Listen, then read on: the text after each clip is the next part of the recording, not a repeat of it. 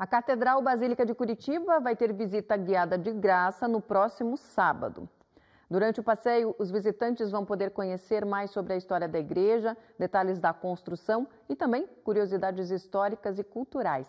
A Catedral Basílica Menor de Nossa Senhora da Luz dos Pinhais tem mais de 350 anos e fica na Praça Tiradentes, na região central de Curitiba. A visita começa às nove da manhã, tem duração de cerca de duas horas e meia e dá acesso a espaços que normalmente são restritos ao público. Para participar, é preciso se inscrever pelo site da Catedral.